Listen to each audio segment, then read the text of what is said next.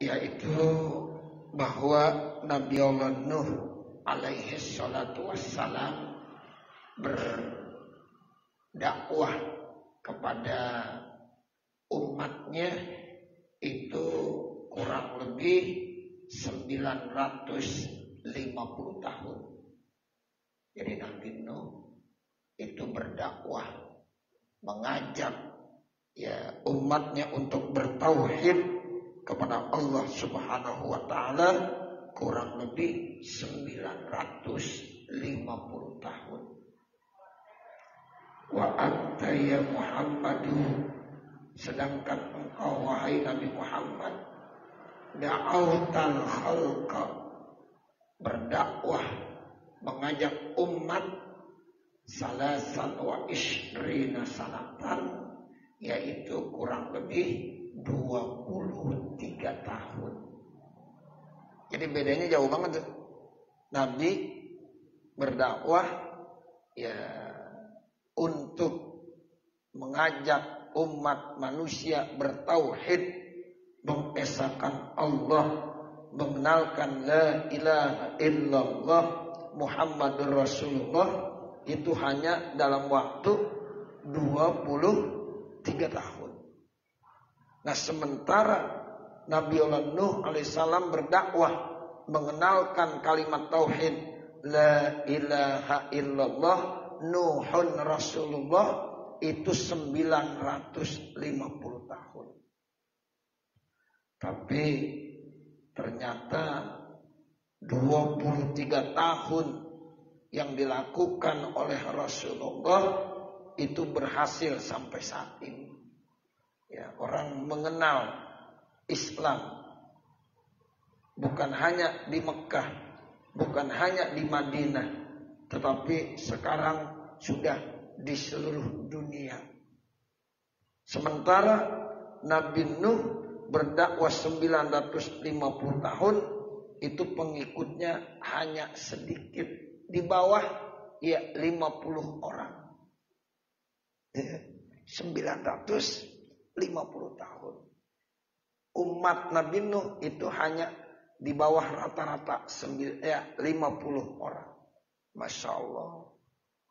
Begitu mulianya Rasulullah Sallallahu Alaihi berhasil berdakwah itu dalam waktu yang sangat singkat, tapi benar-benar sempurna. Al yauma akmaltu lakum dinakum wa atmamtu alaikum nikmati wa raditu lakumul islama dina. Tuh. Jadi begitulah ya kemuliaan Nabi Muhammad sallallahu alaihi wasallam. Nah ini sekilas mulia nih yang sedang diinformasikan eh, perbandingan bagaimana Nabi Nuh berdakwah ya, dan Nabi Muhammad sallallahu alaihi wasallam. Namun dua-duanya berdakwah begitu sabar.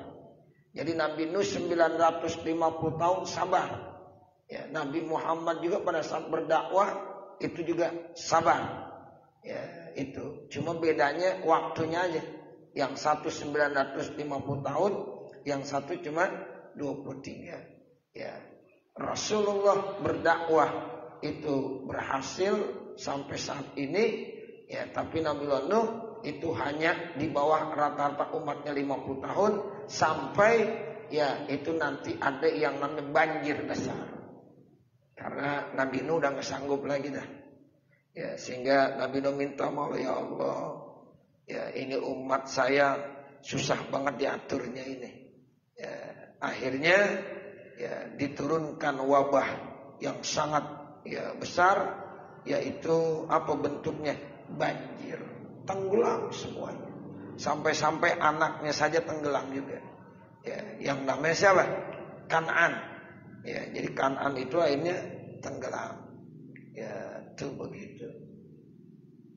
Sehingga ya nanti umat Nabi Muhammad itu walaupun usianya enggak terlalu lama, ya tapi insya Allah diberikan satu nilai ibadah yang tidak kalah dengan umat Nabi Nuh, yang punya ya rata-rata umurnya di dunia di atas 500 tahun.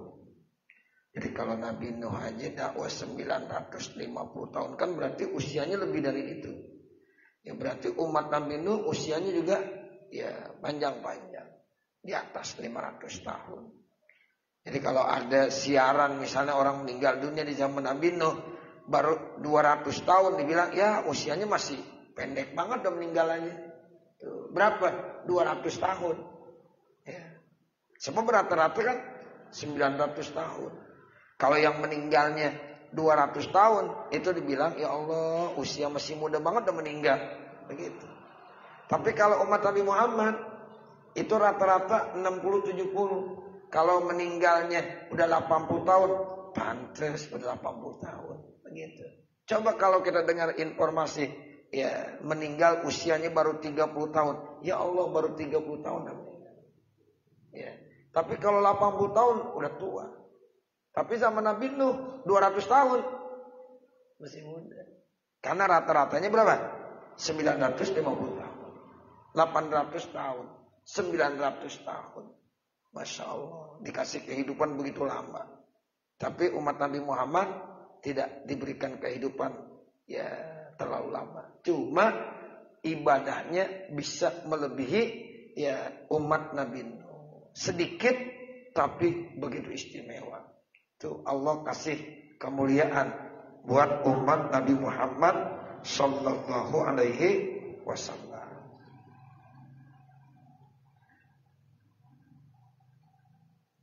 Wa anta khairun sementara engkau wahai Nabi Muhammad lebih bagus min Nuhin kebanding daripada Nabi Nuh alaihi salatu wassalam.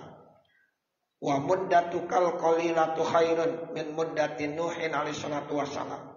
Dan masa engkau wahai Nabi Muhammad yang sedikit ya yang singkat namun lebih bagus daripada masa Nabi Nuh alaihi salatu wassalam yang begitu panjang. Nah itulah istimewa Nabi Muhammad. Begitu juga istimewa umat Nabi Muhammad sallallahu alaihi wasallam. Wa tawabi'u kali aksaru min tawabi'in Nuhin alaihi salatu wassalam. Pengikut-pengikut engkau wahai Nabi Muhammad terhadap saya lebih banyak kebanding daripada pengikut-pengikut Nabi Nuh alaihi salatu wassalam. Umat Nabi Muhammad terbesar Bahkan umat Nabi Musa kan udah banyak banget tuh. Tetap umat Nabi Muhammad lebih besar dan lebih banyak kebanding daripada Nabi Musa. Apalagi sama umat Nabi Nabi. Jadi umatmu lebih banyak kebanding daripada umat Nabi Nabi Nuh alaihissalatu wassalam. Fakazat daribu bisayfi al-fasyahrin wal qaimu al-fasyahrin wa in kana katsiran fa salatul rakataini min ummatika wa in kanat qalilatan fitil kalailati afdalah min zalika kullihi.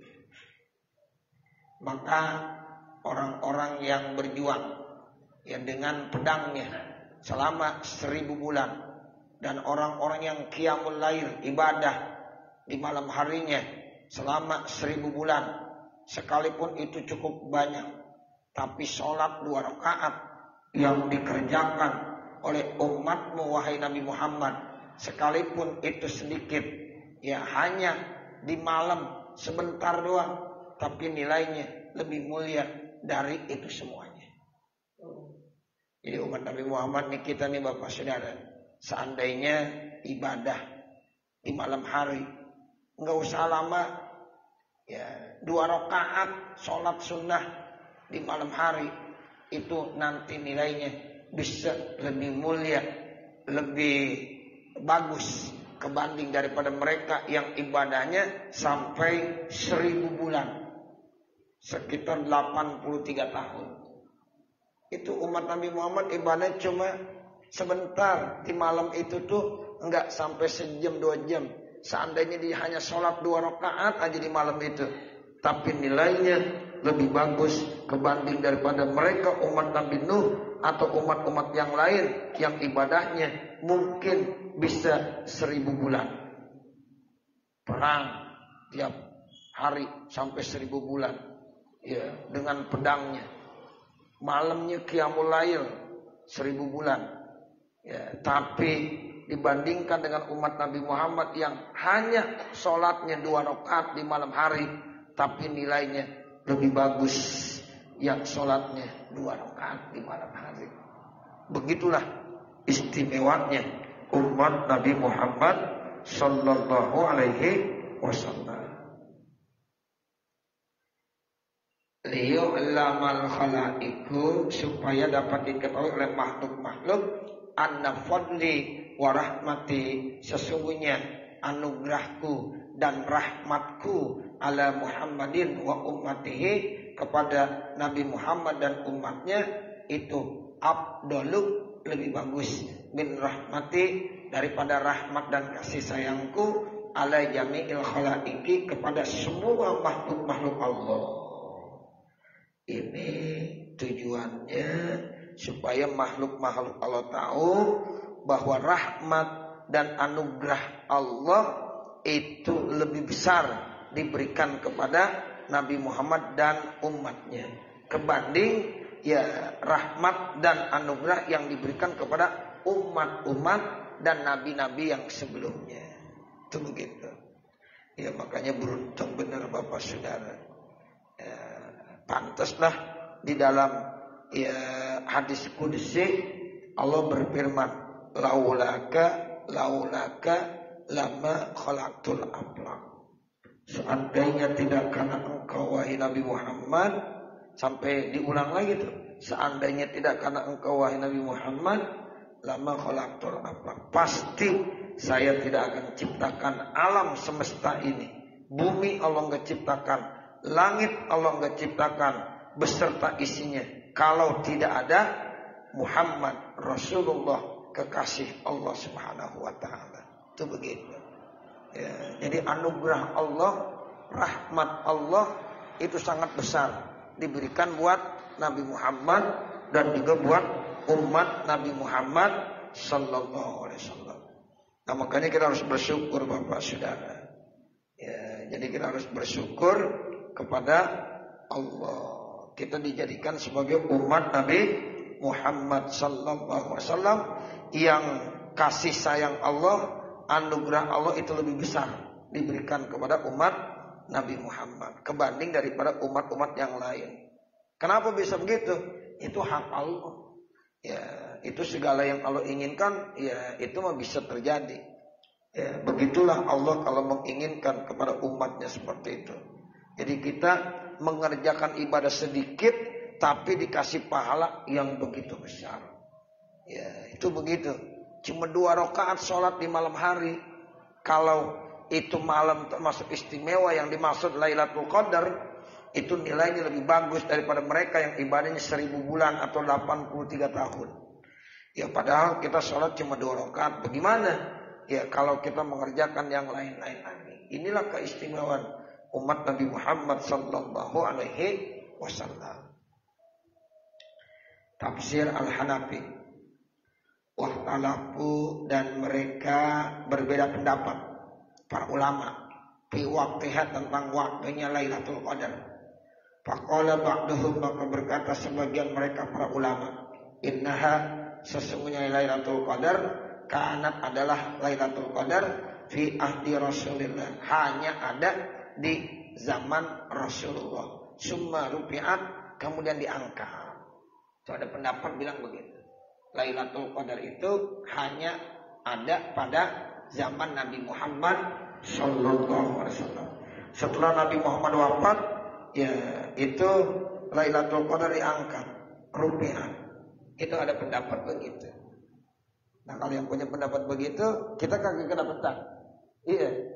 Tapi itu ya hanya sekedar pendapat ulama.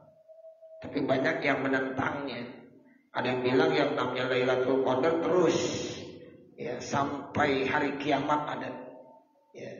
Jadi dari ya mulai Nabi Muhammad ya diturunkan ayat inna anzalnahu fi lailatul qadr wa ma adraka ma lailatul qadr lailatul qadri khairum min alfi syahr ya dan seterusnya itu katanya ada terus ila yaumil kiamah sampai hari. Jadi kita kalau di zaman-zaman saat ini jauh sekali dengan masa Rasulullah udah 14 abad tapi insya Allah ya masih kedapatan Lailatul Qadar kalau kita ya diberikan kesempatan untuk masuk bulan suci Ramadan. Jadi katanya Lailatul Qadar itu pasti turunnya pada bulan Ramadan. Ya, tiap bulan Ramadan pasti ada Lailatul Qadar. Tiap tahun berarti ada. Kalau pendapat yang pertama tadi itu ya bahwa Lailatul Qadar itu adanya pada masa Rasulullah. Setelah Rasulullah wafat maka Lailatul Qadar itu diapain? Diangkat. Berarti udah nggak ada lagi. Ya, itu pendapat yang pertama.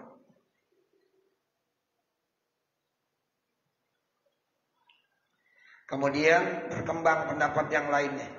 Wazahaba amatul masyayikhi dan berpendapat umumnya para tuan-tuan guru para masyayikh ila annaha sesungguhnya Lailatul Qadar itu baqiyatun tetap ada ila yaumil kiamati sampai hari kiamat.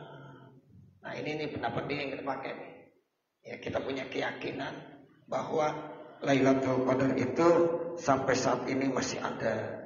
Pokoknya tiap bulan Ramadan pasti ada Lailatul Qadar.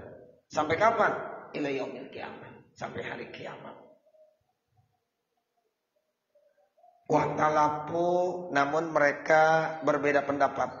Fitil kalailati terkait ya malam itu. Pakola ba'duhum maka berkata sebagian mereka para ulama.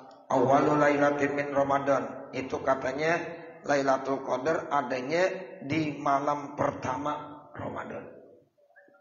Orang senang banyaknya berarti. Ya, kan kalau malam pertama orang banyak nggak? Banyak. Pokoknya di mana-mana tuh, ya kalau malam pertama pasti itu terbanyak. Di masjid, di musola, di tempat-tempat mana pun yang diselenggarakan, yaitu ya sholat tarawih, pasti malam pertama paling banyak. Yang kagak pernah kenal masjid, kenal musola juga saat itu datang. Ya. Pokoknya kita bisa lihat semuanya tuh.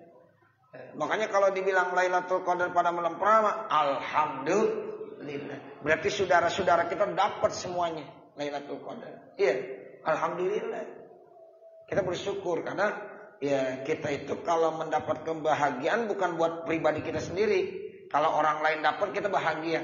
Alhamdulillah semua umat Nabi Muhammad yaitu kedapatan Lailatul Qadar. Kenapa? Karena turunnya pada malam pertama di bulan Ramadan. Ya, ini pendapat ya, satu ulama punya pendapat begitu. Ya, bahwa Lailatul Qadar itu ya akan turun akan datang pada malam pertama daripada bulan suci Ramadan. Dan rata-rata kalau malam pertama orang pasti banyak. Karena ya mereka pasti akan menyambutnya. Ya, itu begitu. Nah, kalau udah mulai 10 hari, 20 hari, udah pada mulai bosan udah. Ya, banyak satu-satu udah pada ngalah. Ya, satu-satu udah pada ngalah. Nah, itu. Ya, makanya kalau yang punya pendapat bahwa Lailatul Qadar itu hanya turun di malam pertama, nah kita bersyukur karena kesempatan itu lebih banyak diperoleh oleh saudara-saudara kita. Ya, termasuk kita. Mudah-mudahan kalau malam pertama pasti ada. Ya, begitu. Tapi terus berkembang nih Bapak Saudara pendapat. Ya, waqala ba'duhum berkata lagi sebagian mereka para ulama Lailatu sab'ata asyara yaitu waktunya malam tanggal 17. Ya, dia bilang Lailatul Qadar itu turunnya setiap malam 17 Ramadan. Itu yang disebut dengan nuzulul Quran. Ya, jadi nuzul Quran pas berbarengan dengan Lailatul Qadar. Jadi Nabi Muhammad pertama kali dapat wahyu itu pada malam ya 17 Ramadan. Yang ikra bismi rabbikal ladzi khalaqal insana min alaq ikra wa rabbukal akram ya seperti itu jadi itu pertama kali Nabi terima ya wahyu yang pertama yaitu pada tanggal 17 Ramadan. Wakalal aksaru dan telah berkata ulama yang lebih banyak lagi. Nah ini yang mayoritas pendapat yang terbanyak fil asril akhiri min Ramadana bahwasanya Lailatul Qadar itu turun pada 10 malam yang terakhir daripada bulan Ramadan. Bisa tanggal 21, bisa 22, 23, 24, 25 dan seterusnya. Yang penting di 10 malam yang terakhir. Ini lebih banyak pendapatnya mayoritas punya pendapat seperti itu. Tapi dirahasiakan tanggal berapa? Wallahu a'lam, nggak ada yang tahu. Yang jelas katanya di 10 malam yang terakhir daripada bulan Ramadan. Wattafaqo dan sepakat amatus sahabati umumnya para sahabat wal ulama dan para ulama ala annaha lailatul sab'in wa isrina min ramadana bahwasanya Lailatul Qadar itu akan turun pada malam tanggal 27 bulan Ramadan. Terakhir pendapatnya ya bahwa Lailatul Qadar itu kan turun tanggal 27 Ramadan. Hukia dihikayatkan Anak Abu Yazid Al-Bustami Sesungguhnya Imam Abu Yazid Al-Bustami Kala Beliau berkata Ra'aitu Lailatul Qadri Saya melihat Lailatul Qadar Fi jami umri martaini Pada semua umur saya Cuma dua kali Ya, itu kata Abu Yazid Al-Bustami, saya menyaksikan Lailatul Qadar dalam seluruh umur saya itu cuma dua kali. Wahya waqi'atun fi mauqi'is sabi'i wal isrin yaitu terjadi pada ya malam tanggal 27. Itu kata Imam Abu Yazid Al-Bustami. Saya pernah merasakan turunnya Lailatul Qadar itu dalam seumur hidup saya yang saya rasakan itu dua kali. Dua-duanya terjadi pada tanggal 27 daripada bulan Ramadan. Wa dan disebutkan fi haqaiqil Hanafi di dalam kitab Haqaiqul Hanafi. Annahu qala bahwasanya beliau berkata Inna hurufa Lailatul Qadri tis'atu ahrufin Sesungguhnya huruf pada lafaz Lailatul Qadar itu ada sembilan. Coba hitung. Lailatul Qadar pertama lam. Iya lam. Ta alif lam. Kop dal sama ro berapa semuanya sembilan ya, jadi huruf Lailatul Qadri ada sembilan huruf wa qad ta'ala dan sungguh Allah telah menyebutkan lafzul Lailatul Qadri lafaz Lailatul Qadar Fisalasi mawadiyah ada tiga tempat. Sementara Allah nyebutin Lailatul Qadar ada tiga. Coba. Inna anzalnahu fi lailatul qadar. Terus apa lagi? Wa ma adraka ma lailatul qadar. Terus lailatul qadri khairum min alfi syahr. Tanazzalul malaikatu waruhu biha bi'izni rabbihim min kulli amrin salamun hiya amat Berapa kali disebut? Tiga kali. Lailatul Qadar disebut berapa kali? Tiga kali.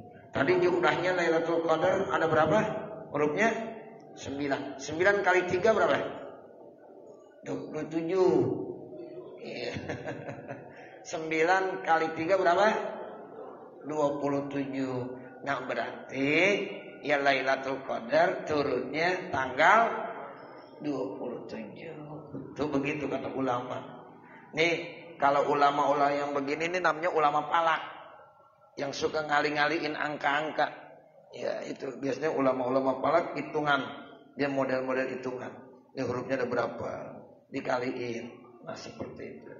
Ya, jadi kesimpulannya ya mayoritas ulama punya pendapat Lailatul Qadar itu turunnya pada setiap bulan Ramadan tanggal 27 karena Lailatul Qadar hurufnya ada 9 disebutkan itu di dalam surah Al-Qadar itu tiga kali nah berarti 9 dikali 7 sama dengan 27 itu diambil kesimpulan bahwa Lailatul Qadar turun pada tanggal 27 Ramadan.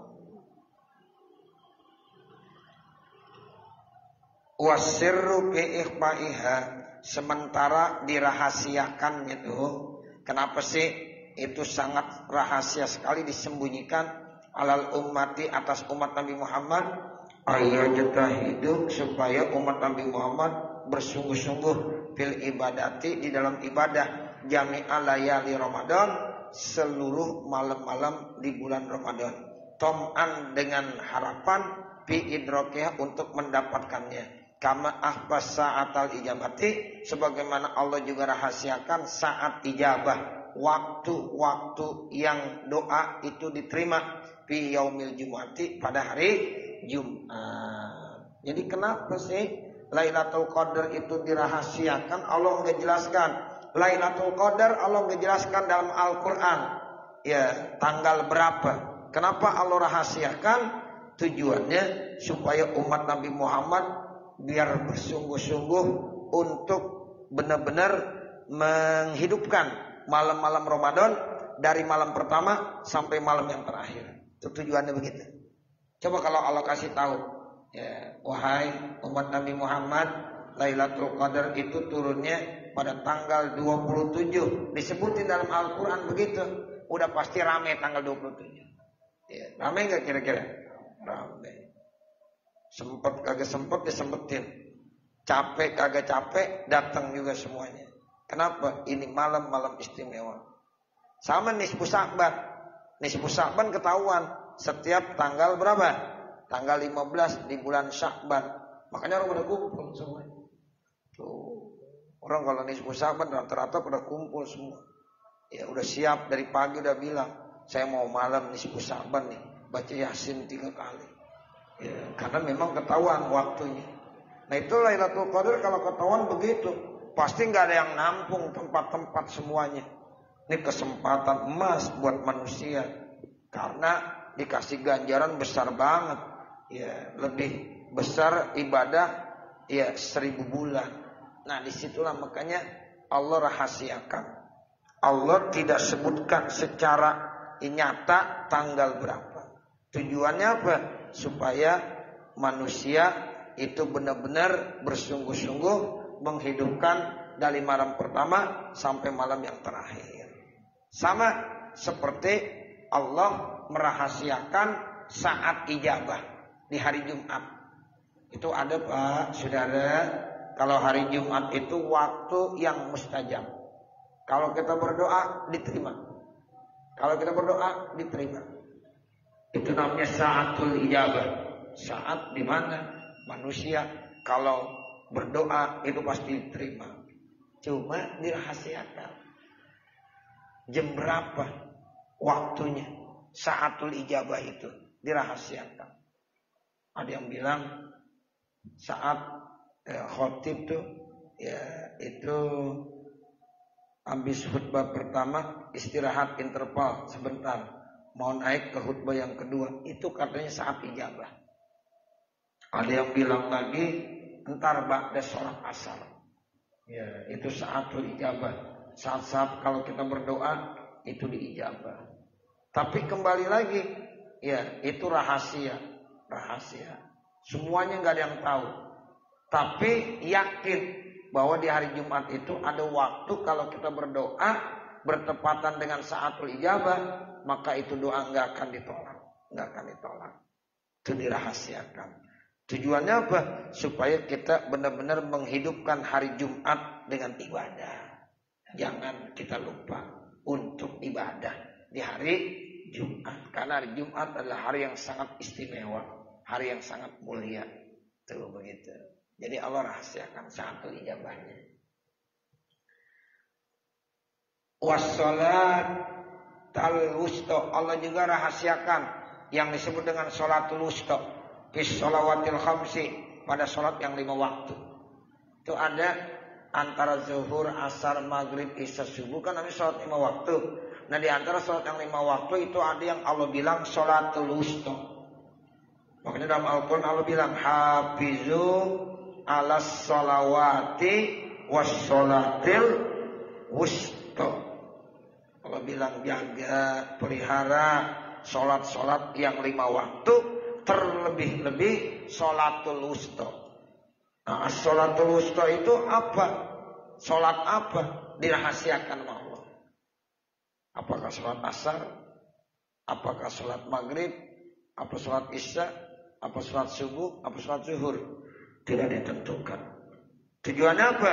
Supaya kita benar-benar semua sholat kita kerjakan dengan benar-benar khusyuk dengan baik. Waktu maghrib kita khusyuk, waktu isya juga khusyuk, subuh zuhur, asar juga begitu. Sehingga dirahasiakannya begitu maksudnya. Walaupun nanti ada sinyal-sinyal yang namanya pendapat para ulama. Ada yang bilang sholat wusta itu sholat asar. Ada yang bilang sholat wusta itu sholat subuh.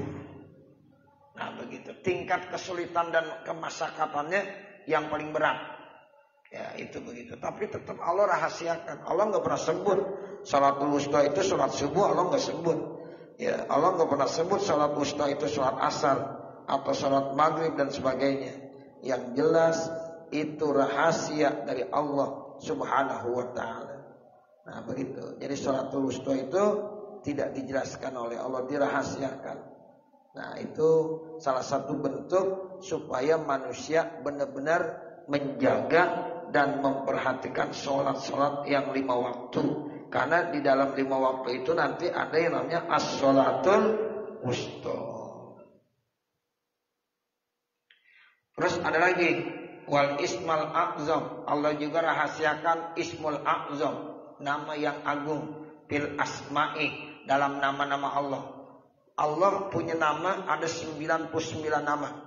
Di dalam Al-Qur'an Allah berfirman, "Ayyamma tad'u falahul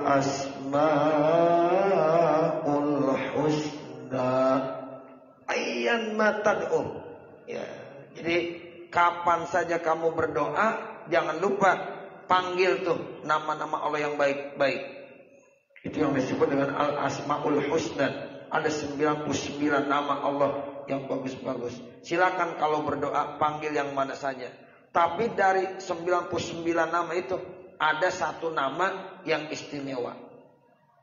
Tapi itu dirahasiakan sama Allah.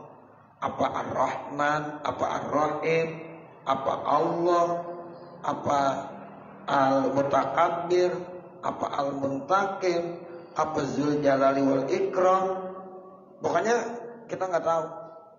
Tapi itu ada nama dari 99 nama kalau kita sebut itu disebut dengan al-ismul a'zam nama yang sangat besar dan itu rahasianya kalau kita sebut nama tersebut doa kita diijabah oleh Allah Subhanahu wa taala. Tuh, makanya ada orang kalau berdoa semuanya dipanggil nama Allah. Ya, Asmaul Husna. Asmaul Husna disebut dari satu dari Allah huwa rahmanur rahim plus sampai selesai semua. Kenapa? Karena kalau dibaca semuanya pasti dia akan menemukan ada satu nama yang Ismul A'zam. Begitu Bapak Saudara. Ya, makanya orang kalau berdoa diawali dengan Al Asmaul Husna itu istimewa. Ya, sehingga mudah-mudahan doanya pasti diijabah. Ya, walillahil asmaul husna ayat matadu palahul asmaul husna. Jadi Allah memiliki nama yang bagus. Kalau kamu berdoa panggil tuh nama-nama Allah yang bagus tadi. Nah di antara 99 nama itu ada namanya Al Ismul A'zam, tapi itu dirahasiakan. Ya, nggak ada yang tahu, dirahasiakan. Nah, karena kita nggak tahu dirahasiakan, panggil semuanya. Ya, 99 nama tuh panggil. Ya Allah, ya Rahman, ya Rahim, Terus panggil. Ya, sampai 99 nama. Nah, itu mudah-mudahan nanti kita dapat ya kemuliaan dari Asmaul Azam tadi. Ya, begitu Bapak Saudara. Waridahu bitaati dan ridhonya Allah dirahasiakan juga pada bentuk ketaatan. Liar gabu supaya mereka ya cinta waya jetahi dan bersungguh-sungguh fi jami'iha pada keseluruhannya. Ridho Allah pun begitu dirahasiakan. Ya kira-kira kita melakukan ketaatan yang model bagaimana yang akhirnya dapat ridho Allah Subhanahu wa taala. Makanya kita nggak boleh menyepelekan satu bentuk amal ibadah Bapak Saudara. Ya, apa pun bentuk amal ibadah yang dianggap sepele karena kita nggak tahu ya apakah yang itu yang bisa mendapatkan ridho Allah ataukah yang ini yang mendapatkan ridho Allah. Makanya ada satu cerita dalam hadis sahih, seorang perempuan itu memberikan air minum kepada seekor anjing yang kehausan. Dilihatnya sepele, tapi ternyata itu perbuatan jadi punya nilai ibadah yang sangat penting karena gara-gara dia melakukan perbuatan tersebut dapat ridho Allah. Itu perempuan padahal bukan perempuan baik-baik. Tapi gara-gara dia melakukan itu Allah kasih rahmatnya, kasih sayangnya dimasukkan ke dalam surga. Ridho Allah tuh. Ya ridho Allah begitu. Imam Al-Ghazali ya Imam Al-Ghazali itu dapat rahmat dan kasih sayang Allah gara-gara apa? Gara-gara itu ada seekor lalat minum air tintanya yang biasa digunakan untuk menulis menulis kitabnya. Ya ketika itu lalat minum menghisap ya air tinta tersebut didiamkan saja sama Imam Al-Ghazali dengan perasaan rasa sayang. Mungkin lalat ini aus sekali. Biarkan saja diminum. Tuh begitu. Penuh dengan kasih sayang. Kemudian setelah itu diterbangkan. Itu gara-gara itu tuh Allah kasih keridoan.